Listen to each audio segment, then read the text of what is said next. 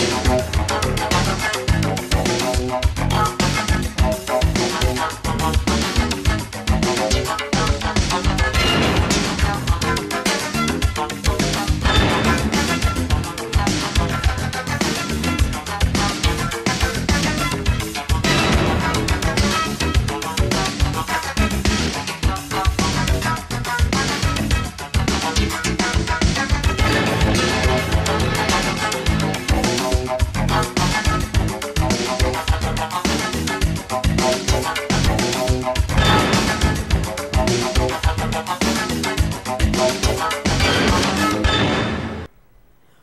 noches, bienvenidos a un diálogo libre a través de Clix TV y siempre por la señal de Telecable Mar, llegando hasta ahí donde está usted, señor, señora, con la mejor programación y ahora con un diálogo libre. Tenemos hoy dos entrevistas importantes, interesantes, sobre este tema que está, em, está en toda la polémica y está generando una crisis, un conflicto eh, dentro de la masa pesquera contra las políticas que se vienen o se trata de implantar, implantar aquí en nuestra región con el tema de la ley de la flagrancia contra los delitos ambientales. Vamos hoy a conversar con el señor Faustino Paso Fiestas eh, el tema que ha ocurrido el día de hoy, que ha sido expulsado prácticamente de este círculo que se ha formado eh, dentro de la Municipalidad de Techura que convoca a todos los pescadores, ha sido expulsado el día de hoy. Vamos a conversar sobre este tema y luego para que nos clarifique, nos dé un enfoque más amplio y certero en el tema legal. Hemos convocado al abogado eh, César Bernabé Gutiérrez para conversar, como siempre, en un diálogo libre. Este programa llega gracias al gentil auspicio de Sismedic Bayobar, a la vanguardia de tu salud, con más de 14 especialistas y la tecnología médica para brindarte la mejor atención de calidad. Calle Leoncio Prado 311. Techo Norteño, brindando calidad de vida. Aprovecha los bonos de techo propio. Agua Inmaculada, 100% natural, 100% sechurana. Pídela en tu bodega favorita. Señor Francisco Ayala Chunga, un líder con visión de desarrollo. Abogado Armando Arevalo Zeta, alcalde de la provincia de Sechura. Juntos, todo lo podemos. Telecable Smart, con más de 85 canales, llegando a toda la provincia con la tecnología de fibra óptica. Calidad en televisión. Agradece a sus miles de usuarios su preferencia. Francisco Paiva Martínez, alcalde del distrito de Vice. Juntos, todo lo podemos. Bueno, gracias también al señor Sebastián Espinosa Ayala, presidente de la comunidad campesina San Martín de Techura con él hemos quedado para el día viernes tener una entrevista para conocer un poco también de su trabajo y de lo que viene realizando en nuestra eh, ciudad. También gracias al señor Raúl Chungarruiz, gobernador político de la provincia de Sechura, a Cevichería Restaurante Turístico Miramar, que invita a toda la familia a pasar un momento especial. Los espera, atención en el kilómetro 5 en Miramar, Chusís, con la mejor atención. Sonido profesional, espacio para que su niño se divierta y también una amplia pista bailable. ¿Para qué más? Vaya con toda confianza a Cevichería Restaurante Turístico Miramar. Gracias también al ingeniero Marco Amaya Berrú, ingeniero ambiental que viene brindando asesoría, consultoría en el tema ambiental. Eh, para cualquier consulta, e información al 937-520-036. 937-520-036.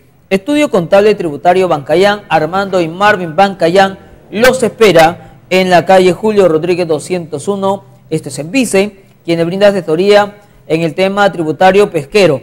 Eh, visite entonces Estudio Contable Tributario Bancayán.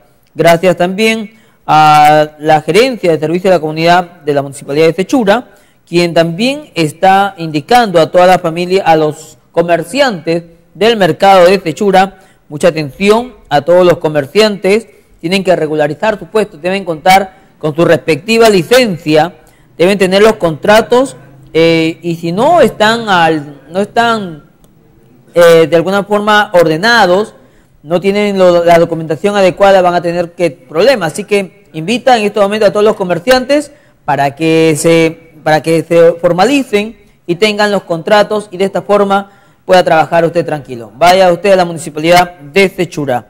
Bien, Vamos a iniciar nuestro programa. Tenemos al invitado del día de hoy, señor Faustino Paso Fiesta, a quien le damos la bienvenida. ¿Cómo está, don Faustino? ¿Qué tal, Jorge? Muy buenas noches. Muchas, muchas gracias por la oportunidad. Buenas noches a todo el pueblo de Sechur, a toda la masa pescadora.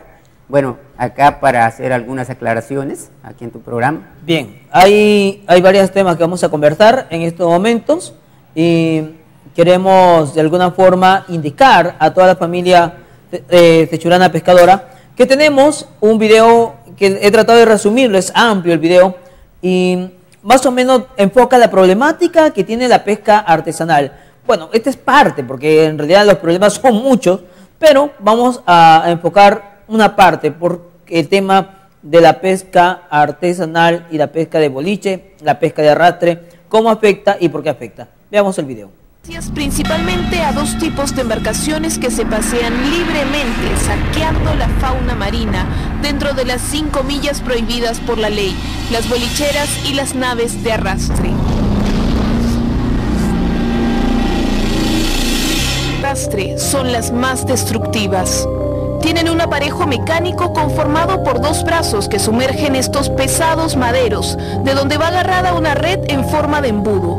Esta red va arrastrándose por el fondo marino, levantando todo lo que encuentra a su paso.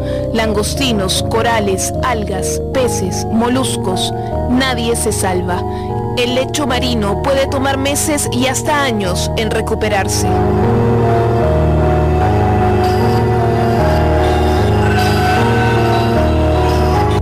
La noche es su cómplice.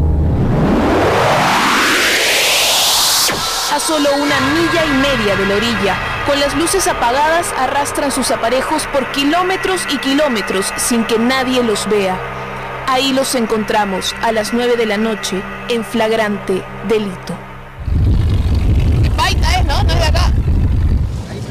A ver, señores, ¿ustedes tienen permiso para pescar acá?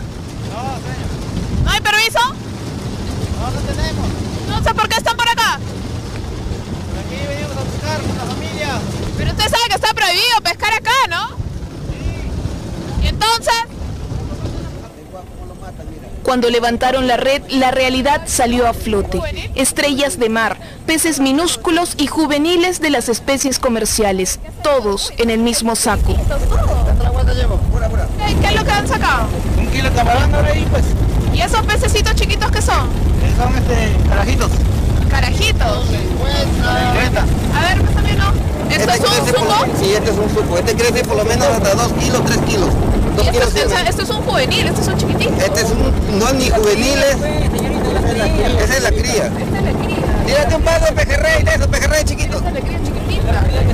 Chiquitita. De esos rojitos. Maestro, pero si usted sabe que está prohibido pescar acá, ¿por qué lo hace? No hay trabajo, señorita. ¿A dónde vamos a ir? ¿De dónde viene? ¿De, de Pimentel? No, de, de, ¿De Sechura? ¿Y qué pasa en Sechura? ¿Por qué no pescan en Sechura? Ah, por allá también este, hay pota nomás, pero también tampoco, está barato la pota. Es- Esto es lo que pescan ellos, es- esto buscan ellos. Ya. Sino que la malla no lo, no lo selecciona eh, a esto. No lo selecciona, ellos capturan todo. Y de, Ah, La malla chiquitita, mira. Ah, ahí. Entonces lo que pasa es que lo que ellos no comercializan, lo arrojan nuevamente al mar. Ahora imagínese el efecto devastador multiplicado por los cientos de lanchas que trabajan 12 horas diarias en promedio, todos los días, rastrillando el suelo marino, matando ese hábitat que a usted y a mí nos da de comer. ¿Qué es lo que quedará? Oh, eso que están sacando juvenil. Todo eso es pescado este Ese es el juvenil. boliche que hace daño, Todo eso es el boliche que nos hace daño aquí, señorita. Mire, mira qué distancia de la playa está. Ahí se ven los ¿A cuánto estamos ahorita de distancia? Estamos a media mía. A media milla. Sí. A media mía ¿Y de la... pescan todas las noches acá? Sí, todas las noches se pesca aquí. Señor, ¿puede bajar un ratito para conversar? Está bien, pero queremos conversar con usted.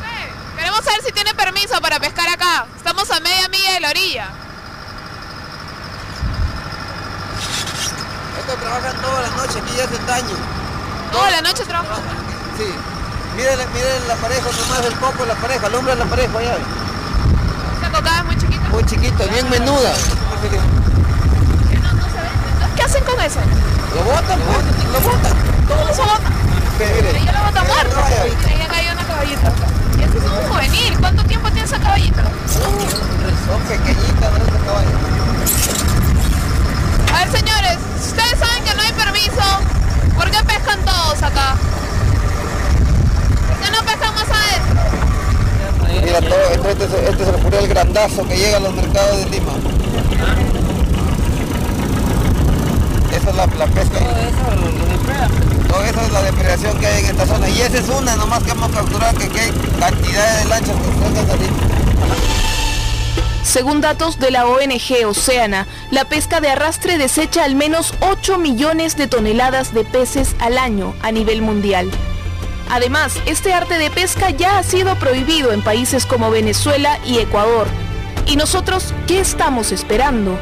Después de ver todos los efectos que causan bolicheras y naves de arrastre, es posible pensar que son inofensivas.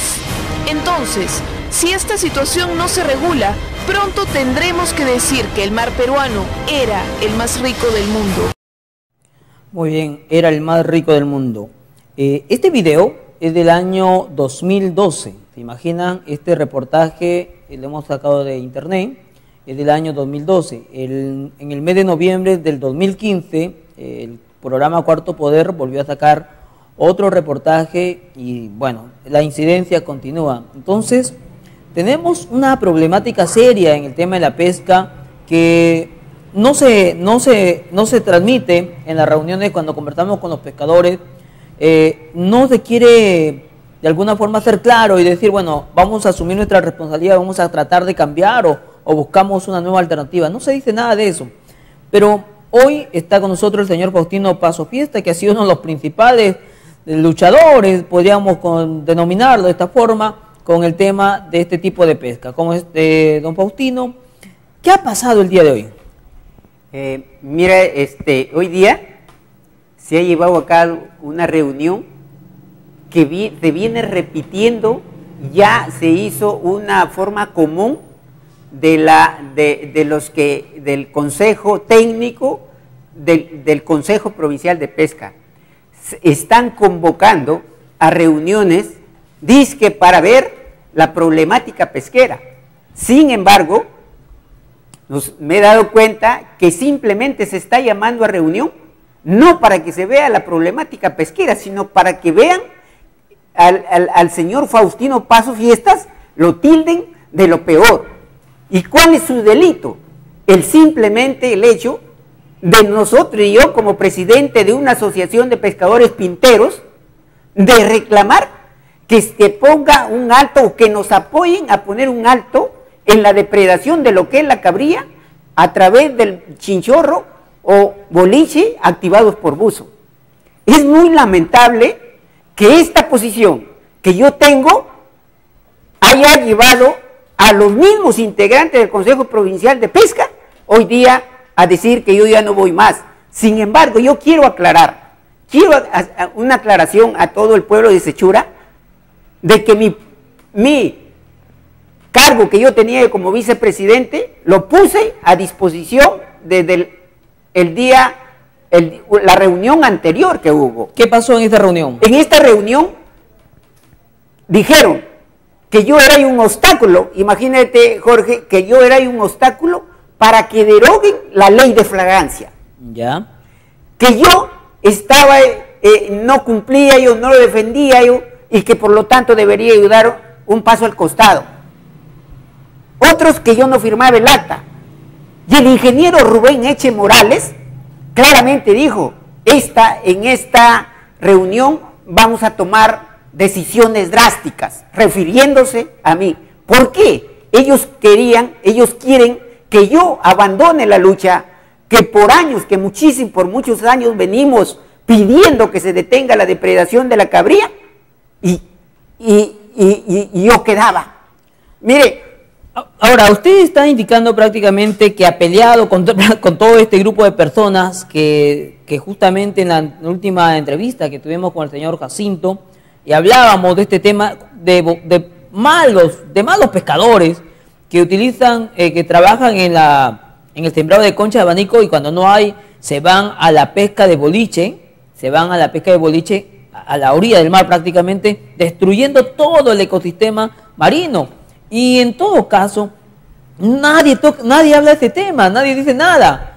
Todos eh, dicen, no, la ley de flagrante, ¿por qué no atacamos primero los problemas nuestros? Entonces, ahí usted ha sido una de las personas que de alguna forma ha sido la voz y sin embargo ya no está dentro del consejo. Mire, mire cómo el ingeniero Rubén Eche Morales toma este, estos casos.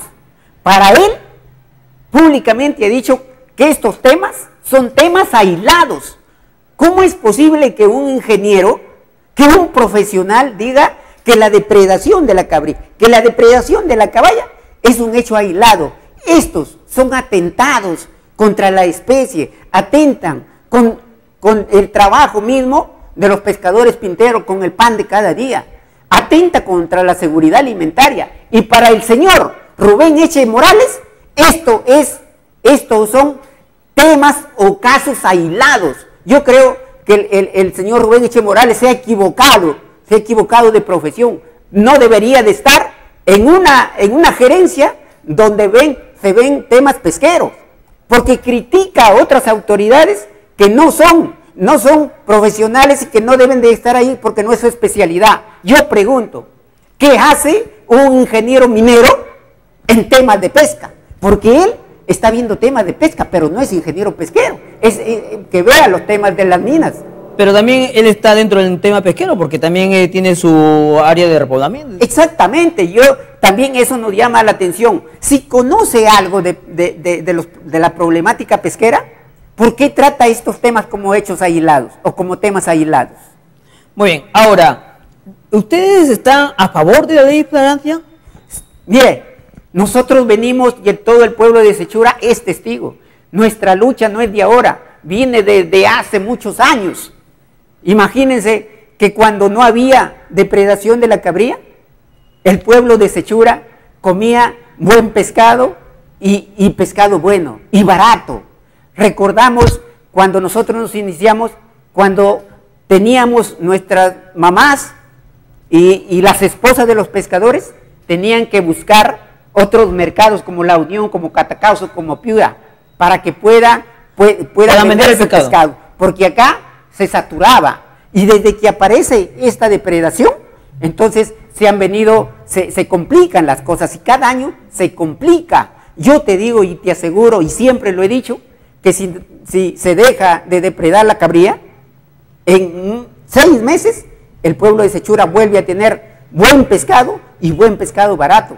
Ahora, ustedes ya han venido denunciando, ¿verdad? Esto, ustedes han venido trabajando. ¿Y qué ha pasado con estas personas que han sido denunciadas? Mire, el tema nosotros ya no, ya no hay aún de denunciarlos. Y hasta ahora nunca hemos tenido una respuesta positiva de que estos depredadores hayan sido, hayan sido este, digamos, eh, que estén pagando las, la pesca ilegal que hacen, hayan sido condenados o la justicia les haya llamado la atención.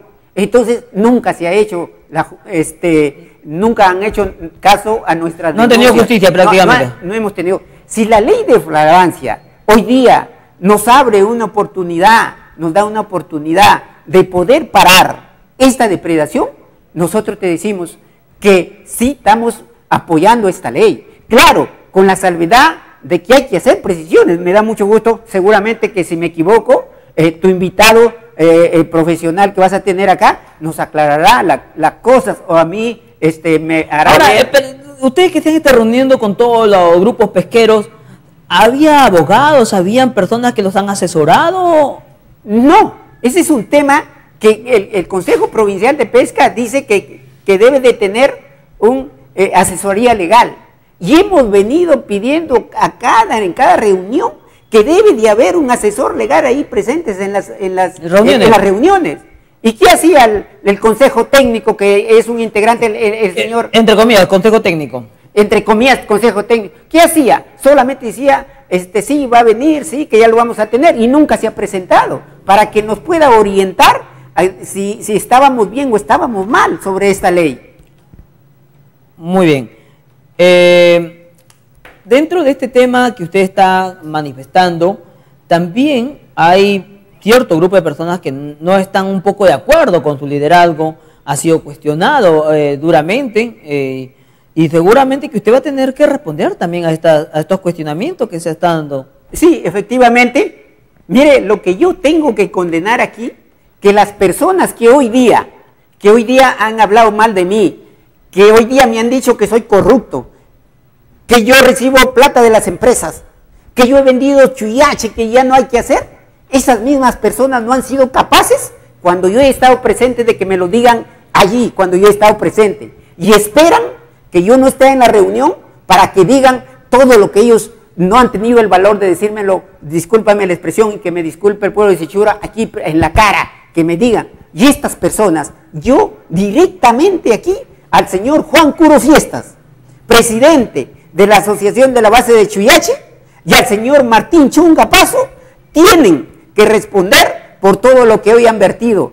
He conversado ya con, con un abogado y, y de mañana mismo estamos mandando a todos los medios de comunicación una carta aclaratoria y el día lunes estamos remitiendo cartas notariales para que ellos se rectifiquen o de lo contrario tendrán que asumir las consecuencias por difamación y calumnia. Eso sí lo digo bien claro, porque todo, esto no es la primera vez, vienen repitiendo esto y la paciencia tiene un límite. Ahora, hay varios temas que seguramente ustedes como consejo eh, eh, se han estado reuniendo, han estado preparando. Eh, usted no estaba de acuerdo contra la ley de flagrancia y sin embargo se tomó el acuerdo de hacer estas marchas, de... No hubo la oportunidad de reunirse porque cuando conversamos con el señor Jacinto, conversamos con el señor Rubén, dicen, no quiere conversar conmigo, no quieren eh, sentarse la directora, no quiere ser parte, pero sin embargo usted sí se sienta con la directora. Claro, mire, nosotros hemos dicho claramente, si hay una organización que apoya nuestra lucha, si hay autoridades o hay una persona que nos respalda nuestra lucha, pues hemos dicho, nosotros nos sentamos con ellos y, conversamos. Eso es la posición que nosotros hemos tenido, el respeto a la autoridad. Y más cuando se conforma el Consejo Provincial de la Pesca, que nace con un objetivo claro. Es decir, que nacía para trabajar pescadores y, y autoridades juntos para ver la problemática pesquera. Entonces, eso es lo que nosotros hemos venido haciendo, hemos venido diciendo, hemos venido reuniéndonos. Y tal, también por eh, esto, porque nosotros nos reunimos con la directora, también están tratando que, que, que yo... Ahora, ¿tú- ¿usted se reunió con la directora para ah, darle la contra al Consejo Técnico Provincial de Chura? No, de ninguna manera, no, eh, eso, ella, si hemos conversado una sola vez del Consejo Provincial de Pesca que me preguntó, ¿tú estás como integrante? Y le dije, sí, pero no, de- del Consejo Provincial de Pesca no. Ahora, ¿el Consejo Provincial de Pesca no se ha reunido como comité, como Consejo Provincial, con la directora?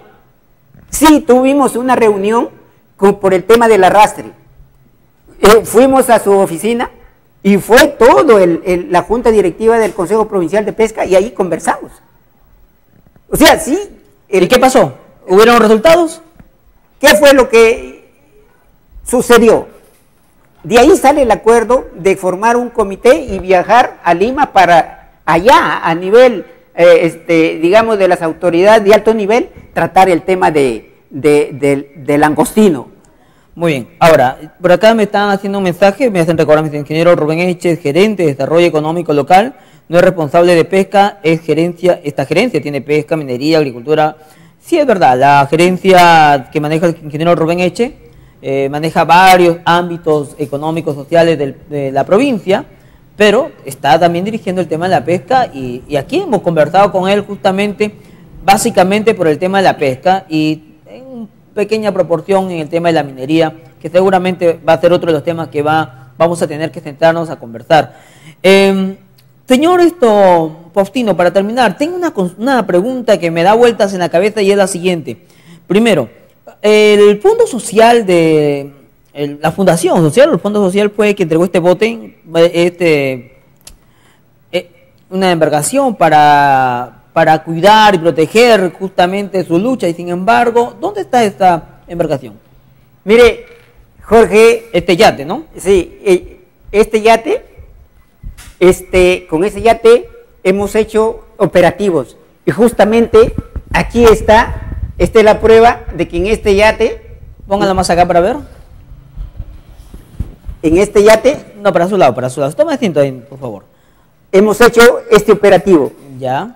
capturando a los que hacían esta depredación. Uno, cuando nosotros este, nos lo dan, formamos un comité de administración para que ellos lo administraran, para que vieran, este, le dieran el mantenimiento, para que vean el trabajo. Nosotros lo tuvimos fondeado tres meses, pero nadie se hizo cargo. Entonces, ese yate debería de tener, este, dársele mantenimiento tanto al motor como la, la misma embarcación. Ya. Entonces, nosotros tomamos una decisión para ver su mantenimiento o Recibir algún tipo de fondo, entonces nosotros se lo alquilamos a una empresa, a, a- una empresa de, de- concha de abanico, para, para que trabajara ahí y, y este, alguna manera nos, no- nos pagaran, nos dieran algo. Y esa, esa embarcación está alquilada. Y cuando necesitamos para hacer este, operativos, inmediatamente este se nos, se nos entrega. entrega. Ese, ese es ¿A quién se le ha alquilado? a la empresa, a la empresa Prisco. Ella- que esa- Qué difícil mantenerlo ustedes como, como aso- asociación pesquera artesanal. Ustedes no lo pueden mantener, no lo pueden trabajar. No, lamentablemente nosotros le pedimos a los, a los pescadores, a los pescadores le pedimos que ellos se hicieran cargo de esa, de esa embarcación, pero dijeron no, el, el- el mantenimiento es muy caro, por lo tanto... ¿Cuánto se gasta? Eh, de gasolina eh, diariamente, bueno, este, su gasto es de entre 50 a 60 soles. O sea, para la, la pesca del- de, de la pinta a la vuelta era mucho. Entonces, nosotros por eso decidimos ver otra forma de cómo poder adquirir algo para su propio mantenimiento. Ahora, ¿este dinero está usándose para la embarcación o también tiene para la misma eh, la Sí, asociación? Con este, con esta, este, esta, este dinero precisamente nos sirve para hacer gestiones, nos sirve para hacer, para ayudar a los compañeros pescadores que de alguna manera se les malogra sus motores. Este, hace poco se ha accidentado un compañero pescador. También le hemos, eh, de esa manera nosotros le ayudamos, le damos este, una parte para que puedan arreglar sus motores, para que puedan este, eh, curarse de algún accidente. Muy bien, entonces vamos a, vamos a seguir esto conversando este tema porque creo que hay mucho, te- hay mucho que aclarar y definitivamente seguramente usted va a tener que, sa- llegar otra vez al programa y poder esto tocar estos temas que son muy importantes. Muy bien, tenemos ya, eh, bueno, acá hay mensajes que le están dando el respaldo, nuestro total respaldo al señor Faustino Paso y que siga adelante en la lucha contra los depredadores. Es uno de los mensajes de las personas que están enviando a través de nuestro móvil. Bien, ahí estamos como siempre en un diálogo libre. Este programa llega gracias al gentil auspicio de Sismedic Bayobar, a la vanguardia de tu salud, con más de 14 especialistas y la tecnología médica para brindarte la mejor atención de calidad. Calle Leoncio Prado 311. Techo Norteño, brindando calidad de vida. Aprovecha los bonos de techo propio. Agua Inmaculada, 100% natural, 100% sechurana. Pídela en tu bodega favorita. Señor Francisco Ayala Chunga, un líder con visión de desarrollo. Abogado Armando Arevalo Zeta, alcalde de la provincia de Sechura. Juntos, todo lo podemos. Telecable Smart, con más de 85 canales, llegando a toda la provincia con la tecnología de fibra óptica. Calidad en televisión. Agradece a sus miles de usuarios su preferencia. Francisco Paiva Martínez, alcalde del distrito de Vice. Juntos, todo lo podemos. Bueno, gracias también al señor Sebastián Espinosa Ayala, presidente de la comunidad campesina San Martín de Techura, al señor Raúl Chongarruiz, gobernador político de la provincia de Techura, a Cevichería Restaurante Turístico Miramar, que los espera en el kilómetro 5 en Miramar, Chusís, con la mejor atención. También al ingeniero Marco Amaya Berrú, número para asesoría consultoría al 937-520-036, 937-520-036. Estudio Contable Tributario Bancayán, Armando y Marvin Bancayán los espera en la calle Julio Rodríguez 201, esto es en Vice. También le recordamos a todos nuestros amigos comerciantes que si no tienen su contrato, regularice, por favor, lo más antes posible para no tener ningún problema. Todos los comerciantes del mercado de Techura deben tener ya su contrato. Así que no espere que pasen situaciones de lamentar y tenga ya su contrato. Tenemos nuestro mensaje para el dengue. Yo uso la bolsita de abate y así me protejo del dengue y la chikungunya. La bolsita de abate tiene el producto que elimina las larvas del zancudo. Úsala para evitar que el zancudo crezca en tu casa. Ponla en los depósitos donde guardas agua por más de dos días. Y lávala cuando cambies el agua. La bolsita de abate puede durar hasta tres meses. El personal de salud colocará la bolsita de abate. Y si necesitas una nueva, acude al establecimiento de salud para que visiten tu casa. Si te pica, pierdes. Protégete del zancudo que transmite el dengue y la chikungunya. Muy bien, entonces ya sabe, hay que todos tenemos que trabajar para estar eh, dándole un ataque fuerte a este tema del vector que genera el dengue. Estamos ya con la parte final, las palabras finales del señor eh, Faustino Paso, me dice por acá un mensaje que también creo que se lo debo, señor, el señor Faustino siempre ha estado con la empresa Prisco, por eso tiene ese yate, por eso lo tiene el yate. ¿Por qué no lucha? ¿Por qué eh, para que este bote Prisco esté en la zona de Chuyache, que son las zonas de los pesqueros? Eh, mire, quiero hacer una aclaración. El, yate nos lo dona la comunidad San Martín de Sechura o la fundación comunal. Ya. No lo, no, no lo dona la empresa Prisco. O sea, eso, eso hay que aclarar, porque muchos dicen que hasta un yate le han entregado. No, no es así. O sea, eh, es cierto, nosotros lo podemos tener allí, pero ahí va a suceder lo que, lo que sucedió en los tres primeros meses. Nadie le daba mantenimiento. yo era yo el único que tenía que darle mantenimiento y los pescadores no se comprometían a eso. Es que por eso tomamos la decisión de buscar alguna empresa que pueda este, este, eh, darle trabajo. Y quiero terminar diciendo a todos mis compañeros pescadores, eh, a los pinteros, que conocen la verdad, que conocen la realidad, que aquí estaremos, que yo estaré y iré donde, va, a donde me lleven. Tú sabes, eh, Jorge, quien no la debe, no la teme. Y donde quieran que vaya, yo le digo a aquellas personas que hoy día se han portado de la peor forma, que dejan mucho que desear como dirigentes, que yo no tengo nada que temer que voy a seguir en esta lucha. Si por esta lucha de defender la pesca de mis compañeros pinteros tienen que decirme que soy traidor, pues lo acepto, porque no vamos a bajar los brazos y quiera Dios que algún día logremos que esta herramienta se erradique para el bien no solamente de los pescadores pinteros, sino también para el bien del pueblo de Sichura. Y como último, el día viernes estamos marchando a la ciudad de Piura para respaldar eh, esta ley vamos a, estar en Piura y quedan invitados todos los pescadores pinteros, las amas de casa, todos aquellos que quieran defender las futuras generaciones que el mar y que la especie, la especie no se extinga. Muchas gracias, Jorge. No se vaya todavía, esto hay una palabra que siempre se repite, la falta de compromiso de los pescadores. es lo malo, pues. Todos quieren poner a un líder y el resto ¿dónde está? Y ese es el gran problema que tiene Sechura. Se lo dejan al caudillismo y al final vienen las sorpresas. Si no, de aquí recordamos con el señor César Bernabé qué es lo que ha pasado en la pesca en Sechura. Retornamos.